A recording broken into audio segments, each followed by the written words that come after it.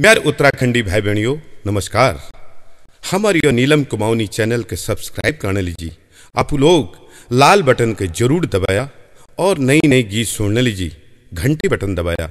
बहुत बहुत धन्यवाद